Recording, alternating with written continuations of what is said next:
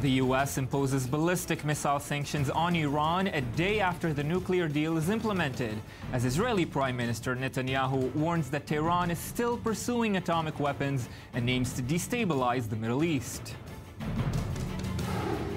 Islamic State reportedly takes more than 400 civilians hostage when it attacks the Syrian city of Deir el-Zur. Some 300 others, including women and children, are believed massacred.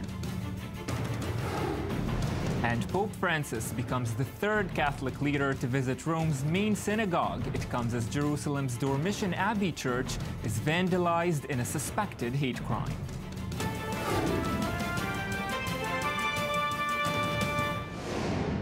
Thank you for staying with us. Israel's foreign ministry is making last ditch efforts to block a pending EU, EU, resolution that emphasizes the distinction between Israel proper and territories captured during 1967. According to officials, adoption of the resolution could lead to new sanctions against Israeli settlements in the West Bank. Eli Hochenberg has more. I think uh, we have to uh, reset our relationship with the EU and set things on the right course. The EU and Israel have been on a rocky road for a while now, but only two months after the Union presented guidelines for labeling products from Israeli settlements, the pressure is rising even further. The EU's Foreign Affairs Council, consisting of European foreign ministers, is due to approve this Tuesday a proposal aimed at differentiating between areas on either sides of the 1967 borders, commonly known as the Green Line. The initiative basically calls on European nations to limit their engagement with Israel to the areas within the Green Line in light of Europe's growing frustration with the stalled peace process.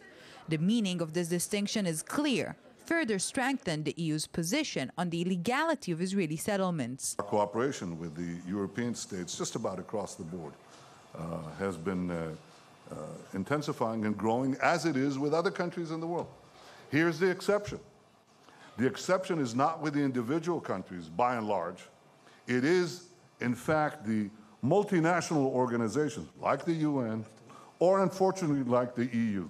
In response, the Israeli Foreign Ministry is once again entering emergency mode, distributing guidelines to Israeli ambassadors to Europe and working behind the scenes to thwart this bid. Chances, however, seem low at the moment, but in any case, this push signals that relations between Jerusalem and Brussels are not only deteriorating, but sinking fast. And I'm joined in the studio again by our diplomatic correspondent for the news today, Eli Hochenberg. Good evening, Good Eli. evening. Eli, of course, this is not the first time that the EU has announced such measures vis-a-vis the settlements. It has been met with a lot of objection before, even accusations of hypocrisy, and not just from Israel. Absolutely. We're talking about, you know, the same uh, uh, voices as saying that Israel is being measured under a double standard, a different standard than the rest of the world. Namely, if we're talking about uh, uh Western uh, diplomacies, uh, democracies, of course. And the thing is that even within the, the European continent, the, the, the opinions towards Israel are not unanimous. Even now, about this new bid, we hear that Greece is objecting the harsh rhetoric used in this new uh, proposal, wanting to tone it down a bit, and also add references to the terrorist uh, to the terrorism uh, threat that Israel is uh, is going uh, under. But definitely, the, the the biggest fear at the moment is that the relations between Israel and the EU and the EU will reach a point when things will be irreversible and nothing will be it will not be possible to recover the relations because at the moment the animosity and the and the tension between Brussels and Jerusalem Jerusalem is really reaching its uh, its peak, and this is the biggest fear at the moment uh, in Jerusalem. And of course, uh, part of the fear on the Israeli side is that um, making the distinction more clear between Israel and the settlements could lead to a ban on the entire country or an academia and commerce from within the Green Line?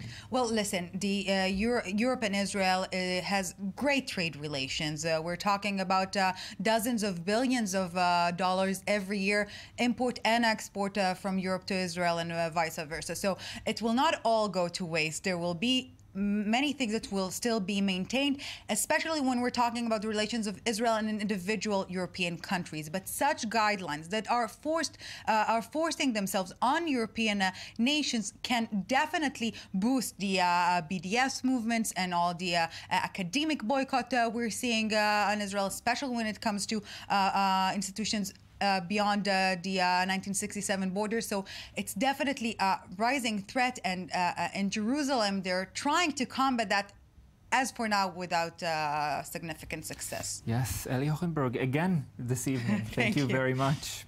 And we're continuing with the theme of a certain threat. Palestinian officials revealed today they had arrested a member of their peace negotiating department for spying for Israel. The man, whose name was not released, was reportedly an administrative staffer and not privy to classified information. Local media said he was arrested two weeks ago. And I'm joined for this more on this story by Mohammed Al Qasim, our correspondent and analyst. Good evening, Mohammed. Good evening.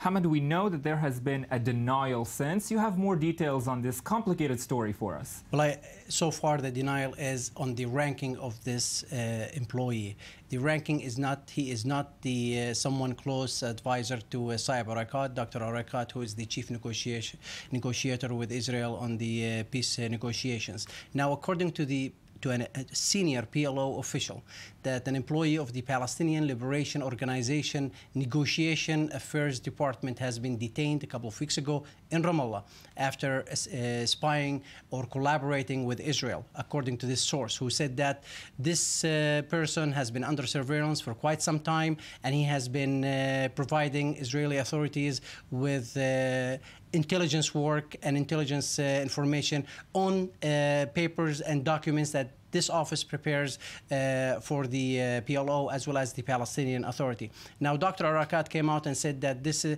this employee is just an administrative uh, employee who did not have any sensitive information that will harm Palestinian negotiation stands. And tell us more about Erekat for our viewers who don't know. How much could, could this be damaging even for the process between uh, the Palestinians and Israel? Well, this isn't the first time that someone from the office of Dr. Erekat has been implicated in such a, a spying uh, affair.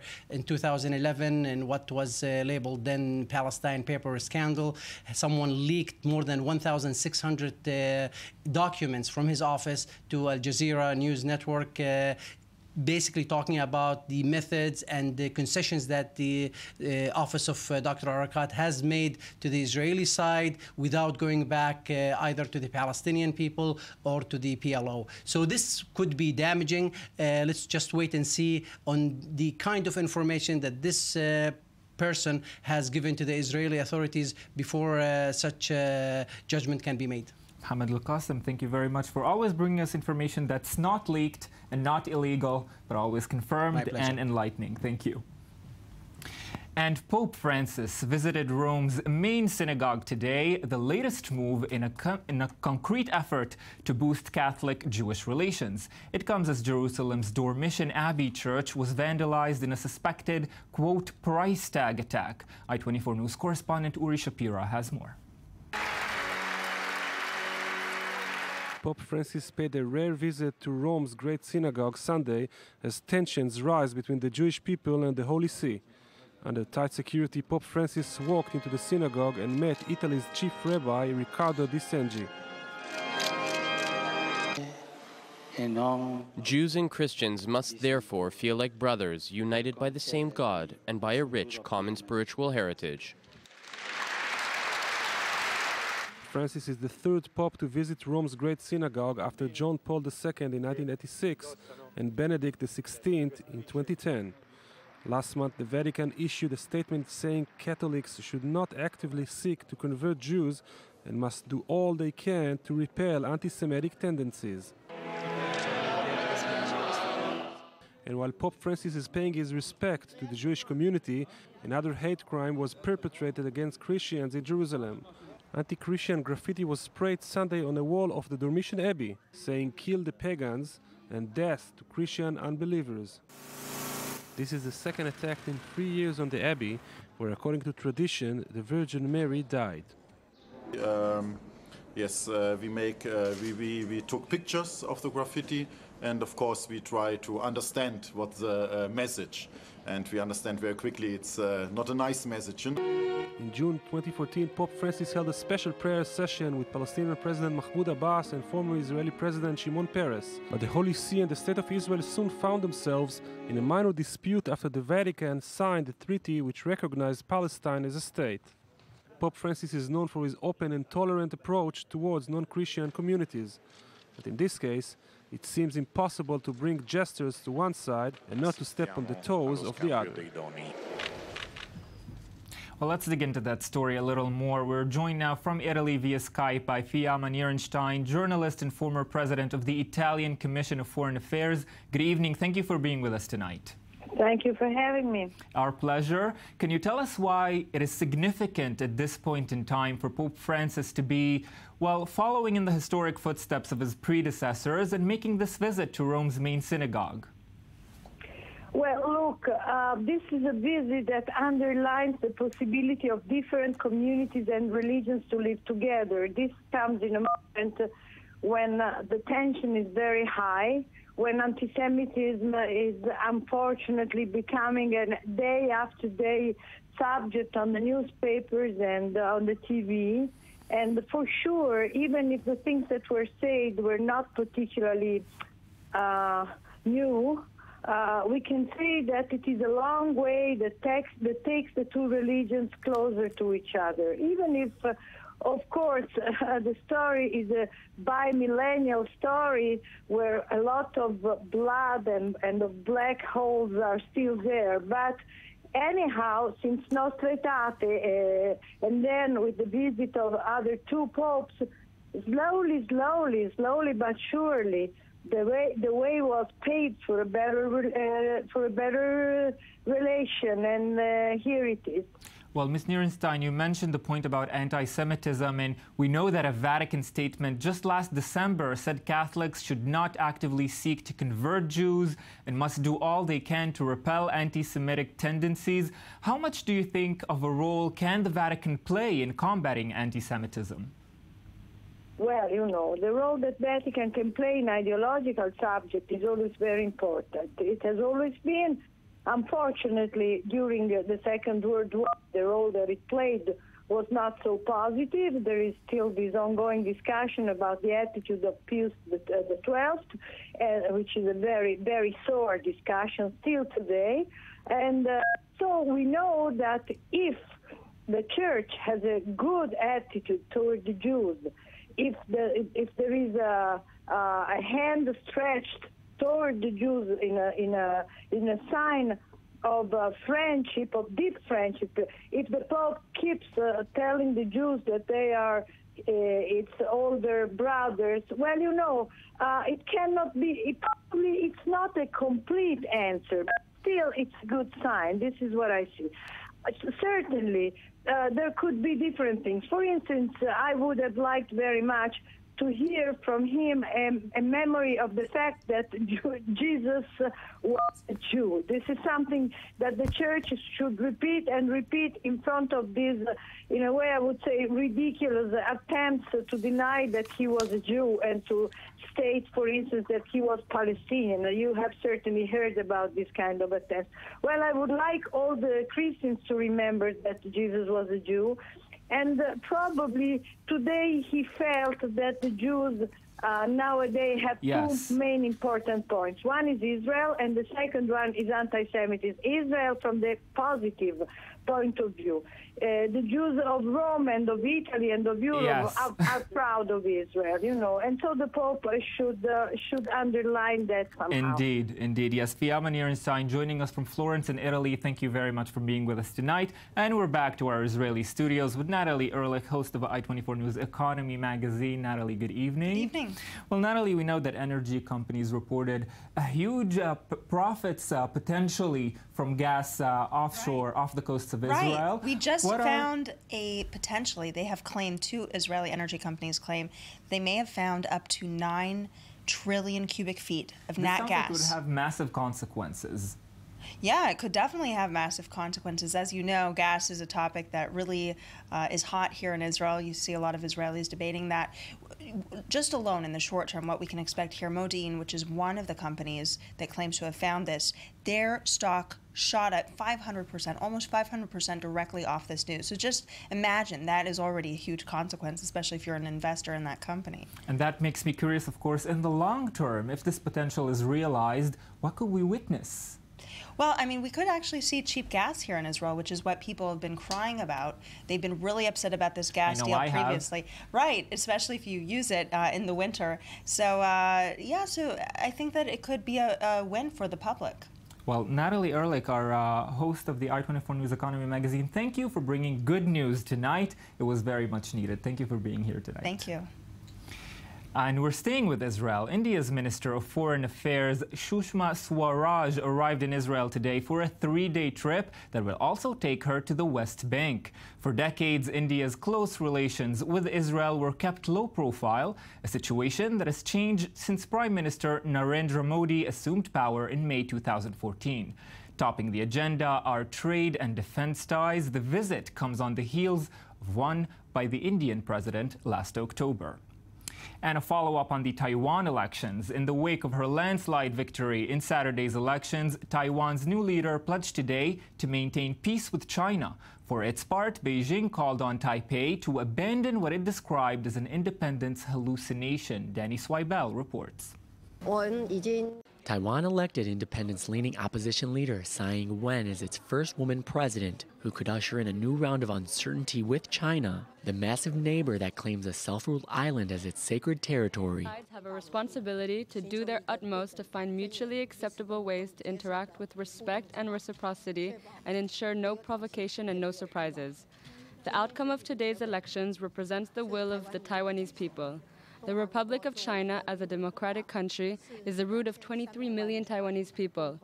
Our democracy, national identity, and international space must be fully respected, and any suppression would undermine the stability of cross strait relations. Some analysts say maintenance of the status quo between Taiwan and China would benefit both countries.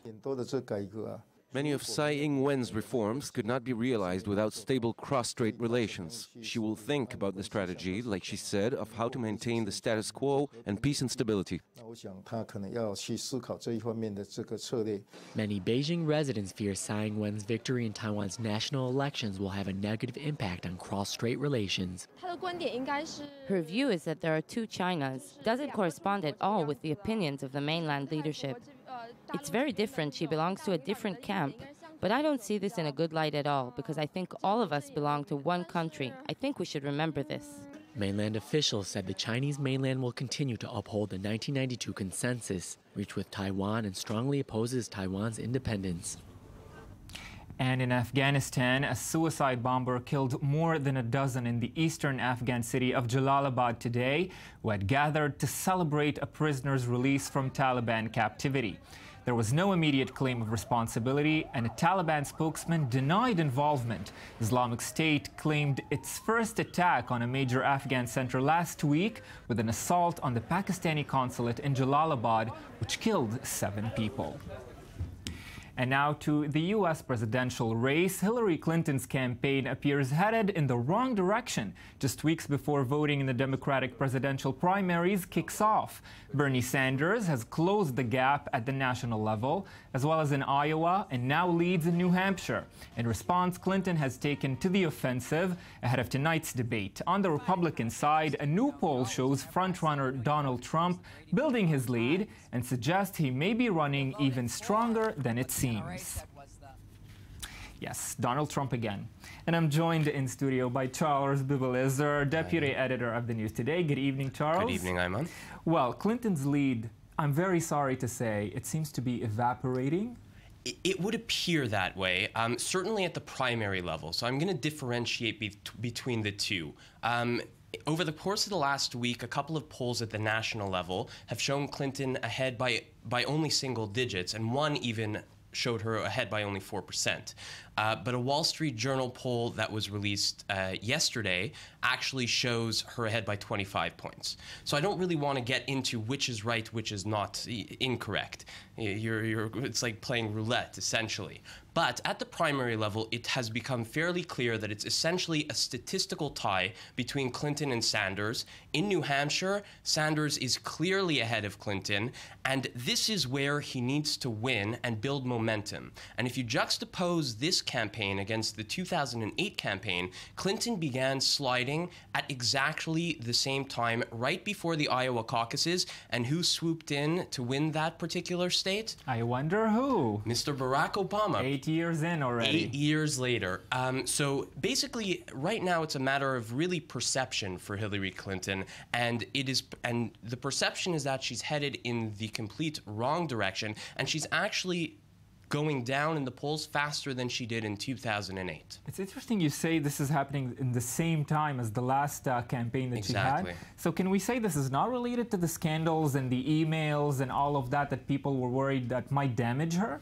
I, I, mean, there could be a certain effect, but these scandals have been in the making for a very, very long time now, and there hasn't really been a smoking gun, per se, that would really put things over the edge. It could still yet that the FBI comes and decides that they're going to indict Hillary Clinton, but I, I just really think that at this stage, Bernie Sanders has incrementally crept up on Clinton, and it seems that he's reaching some kind of critical mass, especially right before the voting. The voting, because it's one thing for people to say, "Oh, I support Hillary. I support Hillary." It's another thing altogether when you have to go and actually cast a ballot. So this is why a lot of people say that prior to the primary actual voting season, the polls don't really mean as much as one would would like them to make for them to mean, but moving forward, I mean, we've got two, three weeks before uh, we, we see actual ballots cast. And Charlie, I know you vowed before on this program not to mention Trump again, or at least not as much.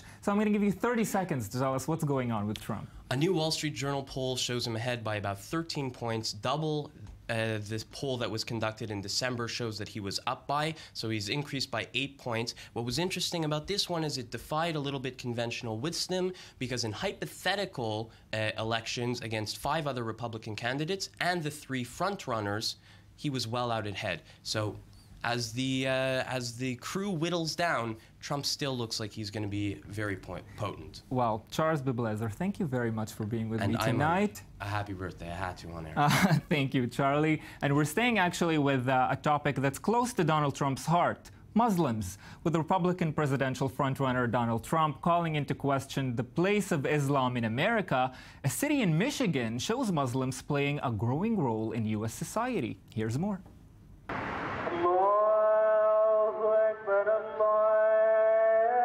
This is a sound seldom heard on American streets. Hamtramck in Michigan was the first US city to approve an amplified Muslim call to prayer in a 2004 vote closely watched around the country. The city is now estimated to have a majority Muslim population, and this January there's been another US first, with the swearing in of a majority Muslim city council. The Al Islah Mosque, one of 12 here, is packed for Friday prayers, and plans are afoot to expand into the building next door. There was some local opposition to the plans and to the regular calls to prayer, but the mosque's secretary says that's all in the past. You cannot change the trend. When flood water comes, how are you going to stop it? No. But we, we don't have any problem here right now. We have no problem with the other ethnicity we are, we are living peacefully together. And nobody complain about the call to prayer anymore. Bangladeshis, Yemenis, Bosnians, and others make up Hamtramck's Muslim community. Many were attracted by the factory jobs here in the home of America's car industry.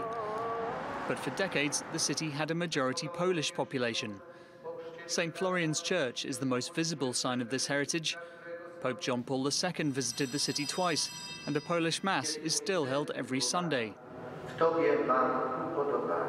Father Frankowski says the older generation in particular worry about the pace of change.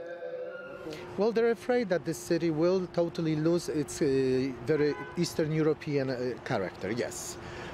Because there isn't that many now of uh, Polish immigrants or immigrants from Eastern Europe uh, living here in Hamtramck. This city will change. That's going to be a natural course. Saad Almasmari, the newest city council member, tipped the balance for the Muslim majority. He denies as outlandish the online rumours that the new council plans to introduce Sharia law in some form. We're going to represent every single person in Hamtramck, regardless any religion, ethnicity, or, uh, or, or color of their skin. It's not about Muslims or non-Muslims. It's about qualification. That's it. When Polish people started moving here en masse in the early 20th century, they faced political discrimination, with electoral districts set so as to keep them out of power. As a new generation of immigrants arrives, there could be some tensions, but Hamtramck's residents seem intent on making the transition a smooth one.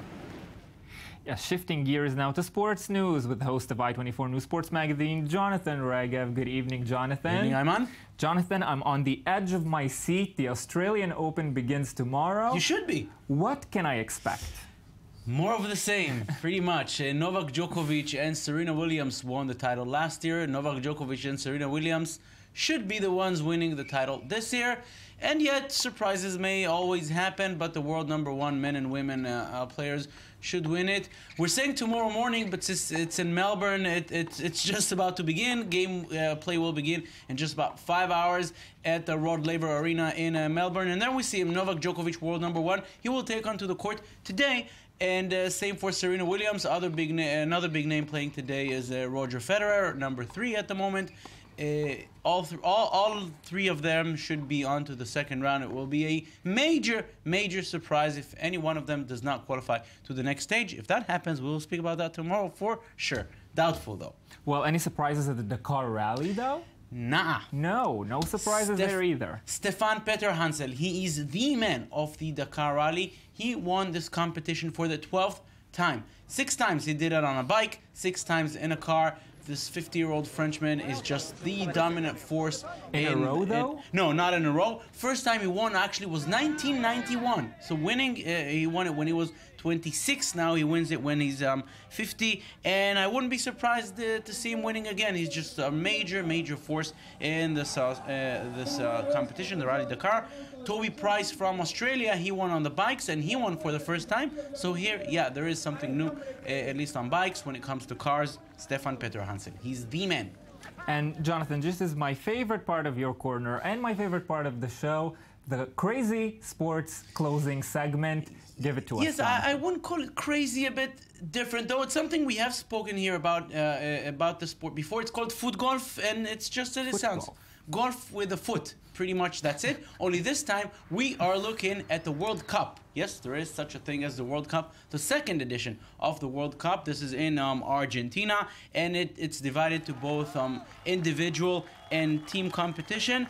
Cristian Otero from Argentina, the homeboy, he won uh, the, the title for uh, the singles competition. Team USA are the uh, big winners in the team competition. And just if, if, you, if you ask yourself how popular this sport is, so 230 players from 26 different countries participated, sport gaining popularity. Well, I have to tell you, Jonathan, to me, foot golf looks like football. People kicking a ball with their feet. And has to reach a certain place and it has to reach a certain place. We're glad you reached here, Jonathan. Of course, anytime. Jonathan Regev, thank you very much. We are off for a 10 minute break now for headlines from our news desk, and we'll be back.